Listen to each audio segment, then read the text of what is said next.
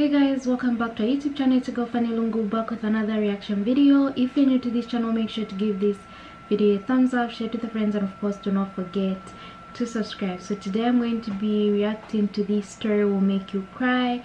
If there's something that you guys want us to react to, drop the link down below. Make sure to um, continue subscribing, continue watching, and just motivate us by constantly suggesting stuff for us to react to.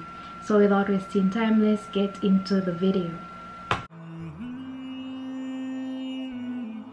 The story of Robert Davila. Three months ago, I gave khutbah in Fort Worth. I haven't been to that masjid in four or five years, and they invited me for some reason, and I went, and I gave khutbah there. My khutbah was about dua. An Egyptian fellow comes up to me, a young man came up to me afterwards, he goes, Allah fulfilled my dua today. And I said, what's your dua? He said, my dua was that Nouman Ali Khan should meet Robert Davila. Are you Robert Davila? He goes, nope, I am not Robert Davila. Robert Davila is my friend, but I think Allah is fulfilling my dua. I was like, fire away. I want to know. Robert Davila is a young man who lives in a town 40 minutes past Fort Worth. He's a, he was a farmer, young guy, and he was hit with some sort of genetic disorder that kicked in later on in his life, and he became paralyzed from the neck down. And he was, he's actually, he lives in a nursing home. Uh, most people in that nursing home are 90 years, 100 years. They're really, really old people. And then there's, you know, his room where he's paralyzed neck down. He's the only 30-something year old that is in the nursing home okay? And he's been in that nursing home for the last 10 years. His family got a computer for him that's voice activated so he can give voice commands, put a headphone on and Google stuff and search stuff so he can surf the web and find information.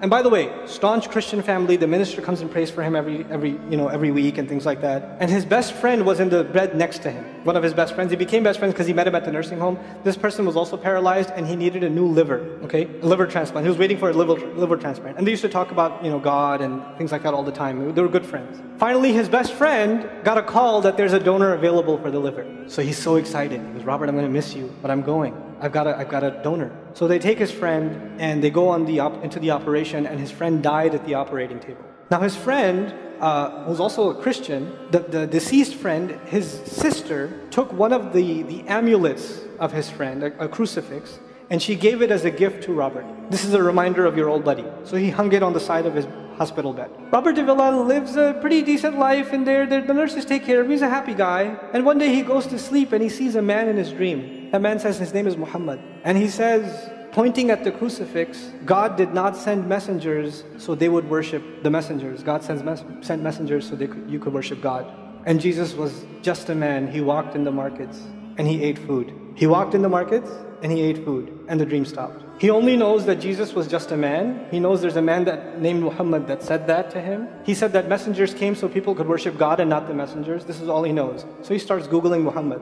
He finds Islam. He takes Shahada. When he takes Shahada, he wants to learn about the Quran. So he goes on these chat sessions and finds somebody needs to teach me Quran. He finds a brother in Egypt that he gets together with on Skype to try to learn Arabic learned the Arabic alphabet. Once he learned the Arabic alphabet, he learned to recite the Quran. He memorized 10 surahs from his hospital bed. Then he said, I'm beginning to memorize the Quran and I'm beginning to learn about this prophet, but I need to understand the Quran. So he starts Googling how to understand the Quran. And for some reason, he ends up on my videos. And he starts watching my stuff. And he watched almost everything. And then he told, and then, here's the other, here's the kicker.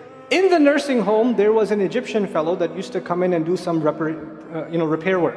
The Egyptian fellow has his own awesome story. The guy had basically lost faith. He wasn't religious. The nearest masjid to him was 50 miles away, so he didn't really go to Jum'ah much anymore. But he felt a spiritual void, so he started going to the church just to feel closer to Allah. Raised Muslim, he goes to the church just to feel closer to Allah. He's passing by Robert's room one day and he hears, Wal asri innal insana lafi khusr. So he walks into his room and says, Robert, what are you listening to? Robert says, nothing. That was me. And the guy says, you're Muslim? He goes, yeah, I became Muslim. And now this friend is in shock. How does Allah guide someone in the middle of Churchtown, USA, in a nursing home with a crucifix on the side of his bed that he doesn't even have the physical strength to move? And the guy himself says, I want to come back to Allah. So he tells him about his, you know, the friend he found online, Nouman Ali Khan. So the Egyptian fellow starts watching my videos. And then he says, I wish I could meet him one day. And he says, okay, I'll, I'll pray for you. And after five years, that Egyptian friend shows up at the same masjid that I haven't been to in four years. And after Jum'ah says, I think Allah wants to fulfill my friend's dua and my dua. So I said, I think He does. Let's go. So I took a few of us and we went and we met with Robert. We had a beautiful conversation with him. They were actually, the nursing home was pretty shocked. You're all here to meet Robert? Like, yep, yep. Uh, why do you want to meet him? Uh, he's an inspiration. We're like, okay, let me check if we can. And they had to call the, hosp- the, the, the hospice administrator and all this stuff. And then eventually let us in. And Robert's in shock. And then I meet with Robert, we're talking, and I was like, hey, Robert, so I heard you memorize some surahs. He says, yeah. Can you recite one for me? So he recited Surah. Not one of us was not crying. We're just in tears. When somebody turns to Allah, when somebody turns to Allah, don't worry about the means. Guidance will come. Balance will come. I want to tell you some more about Robert because young guys are here. Young guys that play basketball. Young guys that are healthy. Young guys that have ambition. I told you what's his paralysis from where to where? Neck down. He has a special wheelchair that has to hold pretty much every part of his body in place. He can't just sit in a wheelchair. It holds his neck and it holds every other part of his body in place because it, he has no control over his limbs. And he has to have a special van where the wheelchair locks in so that if it goes through a bump or whatever, he doesn't, you know, receive the shock. So he made a request. He wants to go to the Friday prayer. They didn't have the special van, so they put him in a regular van. And so he went to the regular van and a few bumps, and his spine got even more hurt. He went to Jumu'ah. He came back in excruciating pain, and they said, "I'm sorry, Robert. You're no longer able to sit in your wheelchair. You're going to have to stay in your bed for the next six months at least. If you see recovery, then you can get back up again." I met him in those in that span. He'd already been in that bed for for three months already, and the reason he was in that bed is he went to the Jumu'ah prayer, and he told me about the Jumu'ah prayer. He said, "I've never felt more peace in my life than I was in that masjid." And you know what I'm going to do, Brother Nouman? When I can, I can sit in my chair again, I'm going to go to Jumu'ah. I'm going to go to the masjid because I've never felt like that before. There's someone who has nothing but control over his, his mouth and his eyes. And he says, I only find peace in the masjid. And here we are. If Allah can guide Robert Davila, Allah guide everybody. And then he said, you know, sometimes I wonder why Allah put me in this position. And then I say to myself, what am I kidding? Allah has given me so much. I'm so grateful for what He gave me. And if this is the way He was going to bring me to Islam, it's all worth it. So worth it. You have Muslims that lose a little bit of health and they say, Why is Allah doing this to me?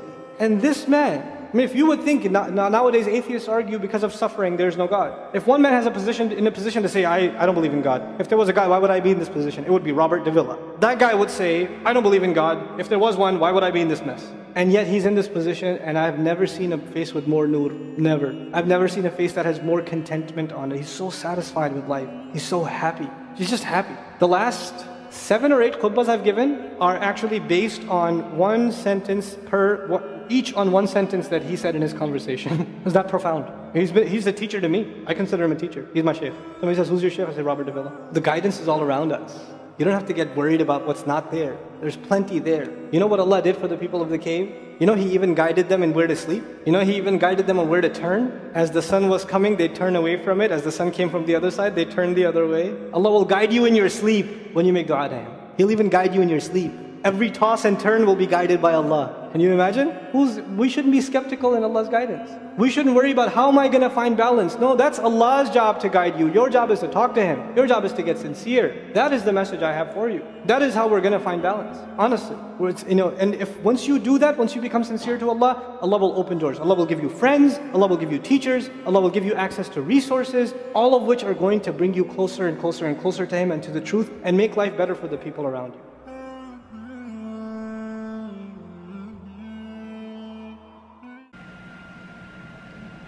I always find myself um, encouraged by people that find strength in whatever they're going through in life.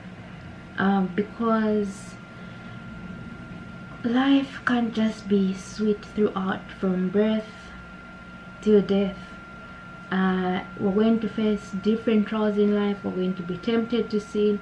We're actually going to sin. We're going to ask for forgiveness it's a cycle that we go through and sometimes God's God puts us in certain situations or go through certain situations so that we can learn something so that we can take something with us. And if we can take something from that from that so that we can um, elevate ourselves then we're winning in life because we've we're coming with lessons. We're coming with experience from, from that thing. We should find ourselves once we um, leave that situation we should find ourselves not going back. Um yeah. And in this situation i feel like despite what he was going through he was still hopeful. Hopeful even though he may never walk he may never sit in his wheelchair again. The fact that he had found islam and he was feeling the kind of peace he was feeling means something meant something to him. Maybe it also meant something to the family but most importantly it meant it meant something to him. That's what should matter the most. As long as you find that peace that you're looking for then you're good. As long as you're getting what you want from this found journey then you're good. And also how he liked um this what's it going to the masjid around people with the same same interests. There's there's a power that lives in gatherings that where you find yourselves in a gathering where people have the same interests are doing the same things that you want. Of, of course people pray about different things but you get what i'm saying. Um this should be a very very good example for us to learn from. Not live by but learn from. Don't let a situation take control of your life. You take control of your life. Let your life take control of the situation at hand. Uh, let me know what you guys think. Uh, make sure to give this video a thumbs up. Share it with your friends. And of course don't forget to subscribe. If there's anything that you guys want us to react to please please please drop the link or the name down below. And we'll be more than glad to react to it. And i'll see you in my next reaction video